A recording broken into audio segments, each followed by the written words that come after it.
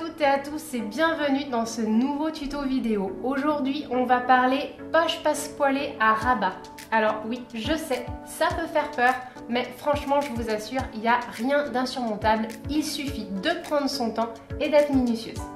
Pour réaliser ce tuto, je vais utiliser le patron de gilet tailleur Mr. Smith, mais vous pouvez bien sûr transposer cette technique sur n'importe quel autre projet. Vous pouvez même coudre une poche passe-poilée sur un patron qui n'en présente pas à la base. D'ailleurs, à ce propos, je vous donnerai en fin de vidéo les dimensions de toutes les pièces qui constituent la poche. Comme ça, vous pourrez totalement vous l'approprier et coudre des poches passe-poilées à rabat où vous voulez.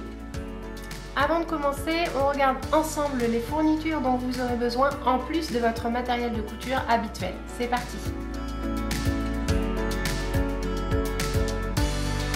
Pour réaliser vos poches passe-poilées, vous aurez besoin des fournitures suivantes.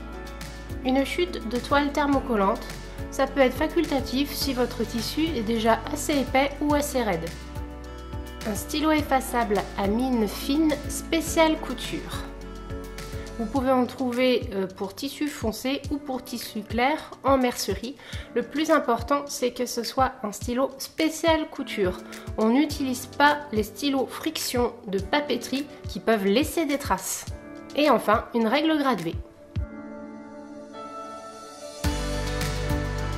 Au préalable, nous avons donc ici la pièce sur laquelle on va venir coudre la poche passe-poilée. Dans notre exemple, il s'agit du devant du gilet euh, Mr. Smith.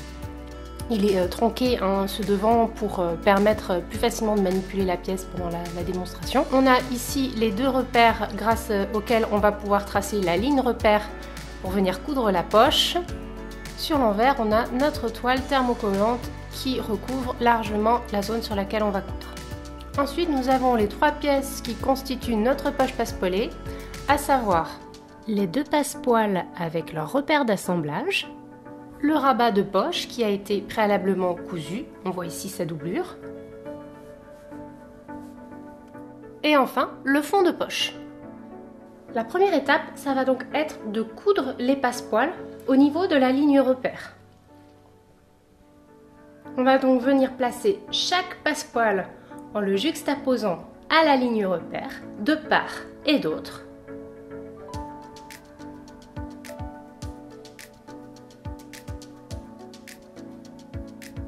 Les repères du passepoil se situent chacun à 1 cm des extrémités de la ligne.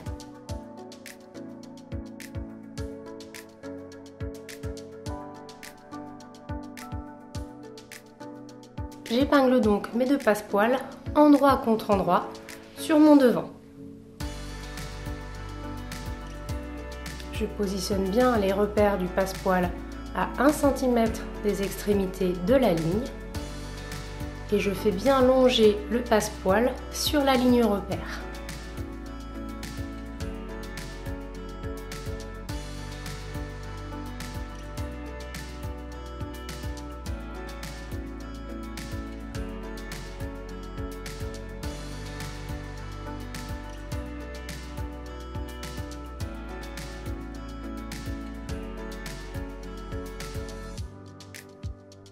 Ici, on voit bien les deux repères face à face. À présent, on va coudre les passepoils à 1 cm de la ligne repère. Pour coudre bien droit, on peut tracer les lignes de couture au stylo effaçable, comme ici. On part d'un repère du passepoil et on pique jusqu'à l'autre repère très précisément. Dans notre exemple, j'utilise un fil contrasté pour rendre la démonstration bien visible, mais évidemment, vous utilisez un fil parfaitement coordonné à votre tissu. On fait pareil pour le second passepoil.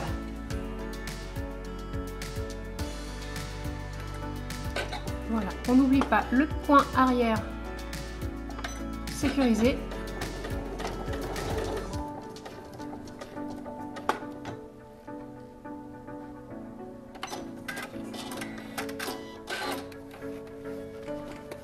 Voilà.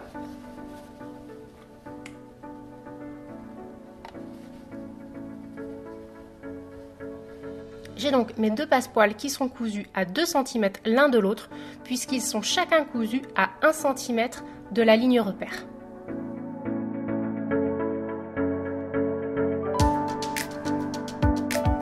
J'ai repassé les marges de couture de mes deux passepoils de façon à bien dégager la ligne repère. Maintenant, au ciseau, on va venir fendre la ligne repère depuis une extrémité jusqu'à l'autre. C'est une étape importante, donc on prend son temps. Ici, je vais plier. Voilà, pour pouvoir fendre plus facilement.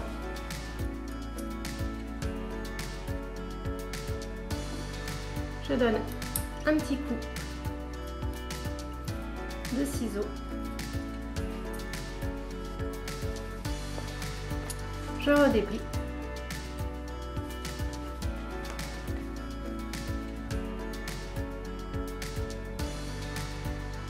Mon trou est ici. Je coupe. Jusqu'au repère.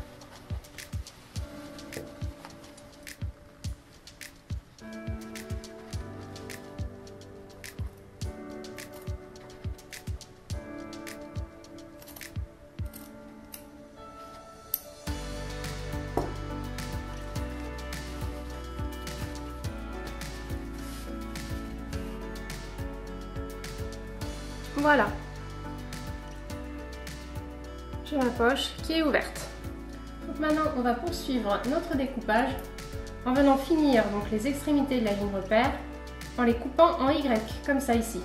Donc on part d'une extrémité de la ligne repère et on rejoint le repère de passe-poil, soit l'extrémité de la couture.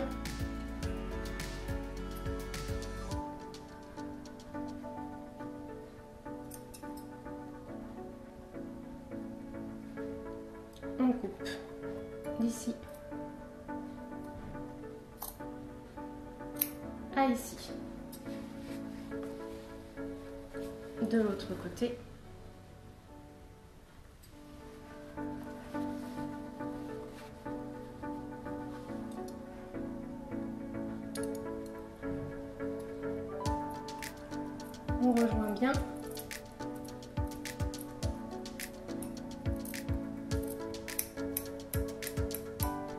l'extrémité.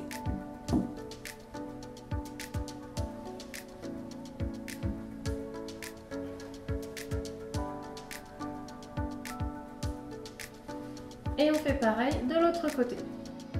Avant de mettre les passepoils sur l'envers, on va les repasser.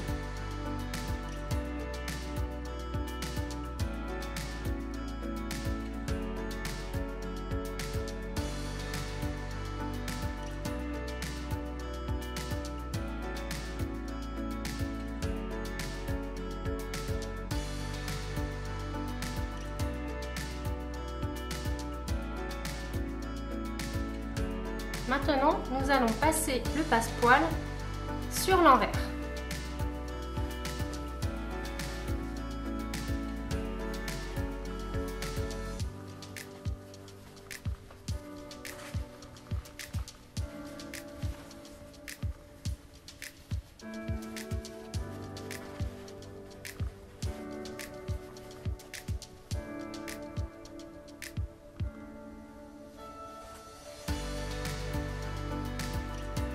Voilà, on a donc nos passepoils avec nos deux petits triangles. On va dégarnir ici, sur la couture passepoil devant, la marge de couture de 3 à 4 mm.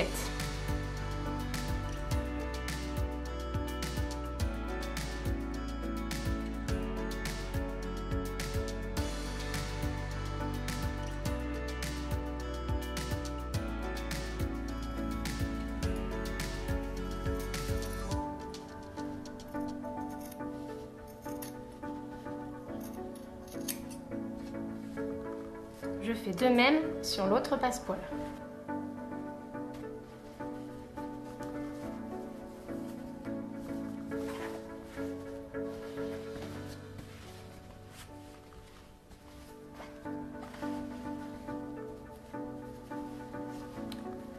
notre passepoil du haut est ici et ici notre passepoil du bas.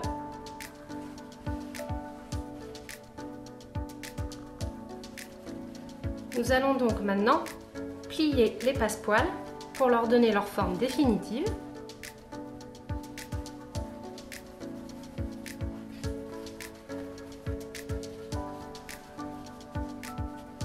On replie de manière à avoir un passepoil de 1 cm.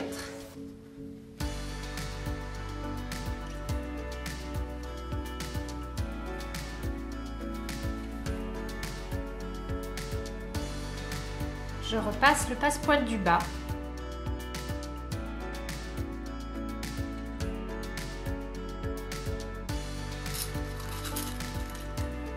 Et je viens l'épingler au devant. Entre les deux passepoils, je vais insérer mon rabat.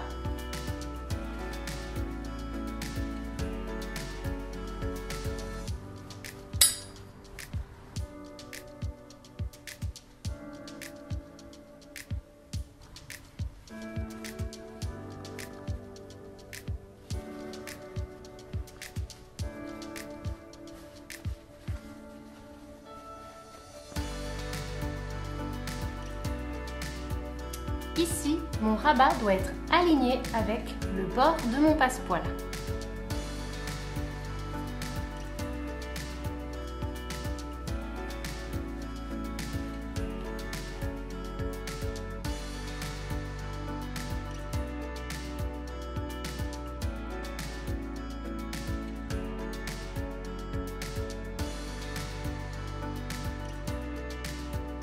Sur le devant, mon rabat est bien de la même largeur que l'ouverture de la poche.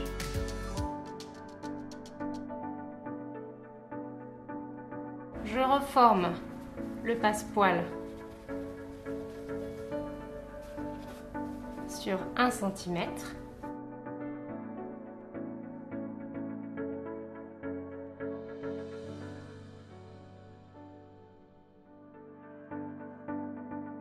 Je repasse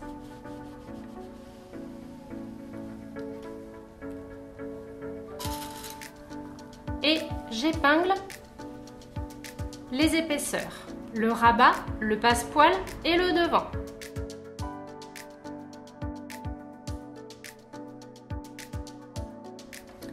Là, je vois que mon rabat dépasse légèrement, je vais le replacer. Je peux ajuster en faisant des allers-retours entre l'envers et l'endroit. Voilà, mon rabat est positionné, mes passepoils sont épinglés. Derrière, le bord du rabat est aligné avec le bord du passepoil. Au niveau de la couture sillon, entre le passepoil et le devant, je vais venir avec un point à la main bâtir le passepoil, le rabat et le devant pour que le tout soit bien fixé ensemble. Pour ça, je réalise un petit point invisible à la main que je coupe parfaitement dans le sillon de couture. Ici.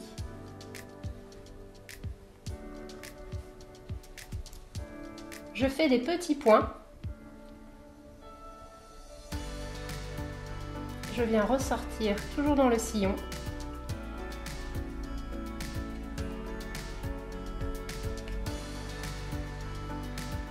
Alors, ici, j'utilise un fil noir pour que la démonstration soit visuellement bien claire. Évidemment, il faut utiliser un fil bien coordonné à son tissu principal.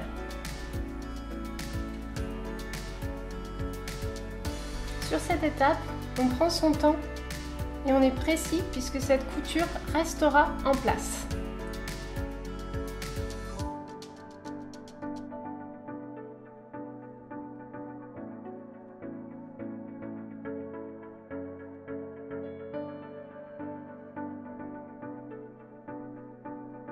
et on n'oublie pas de faire son point d'arrêt.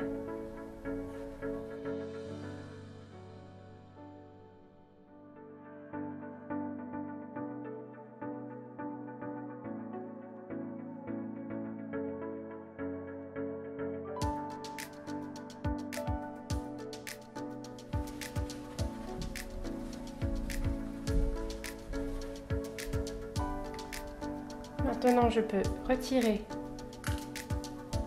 mon épinglage. J'ai donc un rabat solidaire au passepoil. Je vais faire la même chose sur le passepoil du bas en cousant mon bâti bien dans le sillon. Évidemment, je ne prends pas dans ma couture le rabat qui doit rester mobile. Voilà, maintenant qu'on a terminé euh, le bâti au niveau des passepoils et du rabat, on va s'occuper de nos petits triangles qui sont encore libres et qu'il va donc falloir coudre.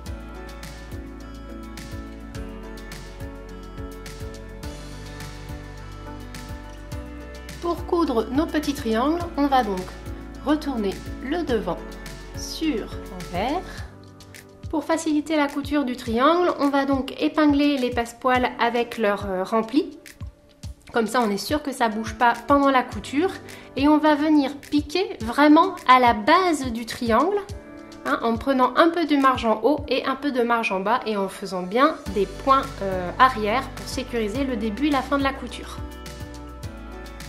Je vais donc venir piquer la base de mon triangle, vraiment au plus près de la base, en partant un peu plus haut, en longeant le pli du tissu. Je pique ici. Et je longe encore ici le pli du tissu. Et j'oublie pas mes points avant, mes points arrière.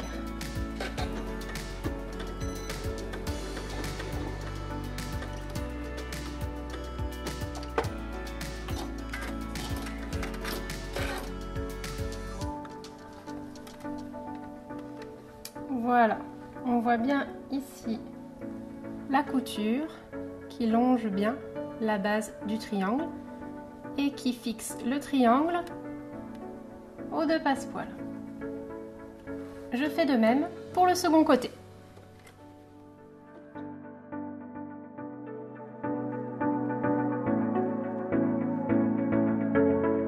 Nous en sommes donc à la dernière étape de la couture de notre poche on va venir fixer le fond de poche sur la poche. Alors, pour ça, on vient fixer endroit contre endroit le fond de poche avec le passepoil du bas.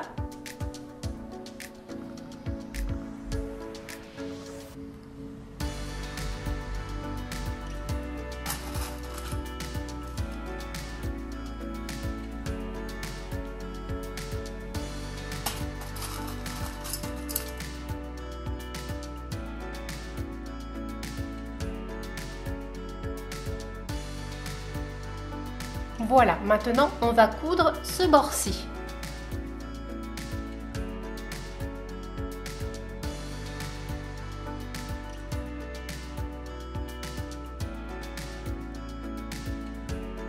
Voilà, le bas du fond de poche est cousu. On voit bien ici. Maintenant, on va rabattre pour épingler le haut du fond de poche au passepoil du haut, endroit contre endroit.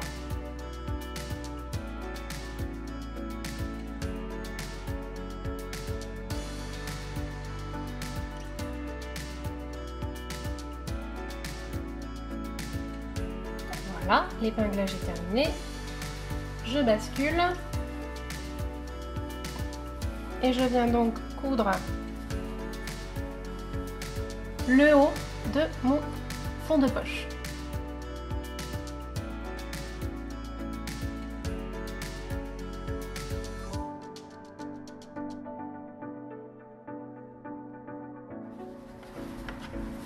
Et voilà, j'ai donc ma poche qui est cousue en bas et en haut. On va donner un petit coup de repassage sur tout ça et épingler les côtés. On va procéder maintenant à la couture des côtés du fond de poche.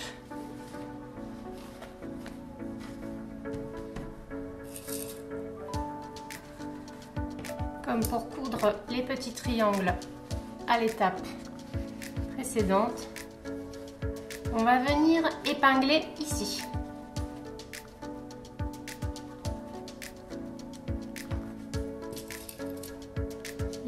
Du fond de poche. Les passepoils. Et on va prendre tout ça dans une seule et même couture. On fait pareil de l'autre côté.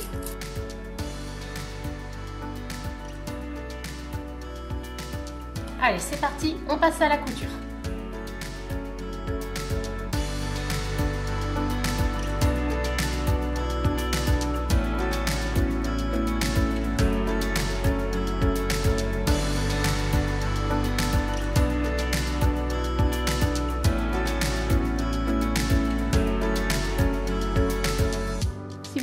Pas le patron Mr. Smith, mais que vous souhaitez ajouter des poches du même style sur un autre projet couture, voici les dimensions marge de couture incluses des trois pièces qui constituent la poche.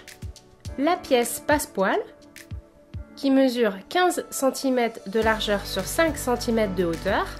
Les repères, eux, se situent à 2,5 cm du bord. Le fond de poche, qui mesure, comme le passe-poil, 15 cm de large sur 20 cm de hauteur. Le rabat, lui, s'inscrit dans un rectangle de 12 cm de largeur sur 7,5 cm de hauteur. Mais il est asymétrique, vous pouvez voir ici le détail des dimensions. La ligne repère qui se situe sur la pièce qui va accueillir la poche mesure elle 8 cm. Avec ces pièces, vous obtiendrez une poche de 10 cm de largeur. Voilà, notre poche est terminée. J'espère que ce tuto vous a plu et je vous dis à très bientôt. Ciao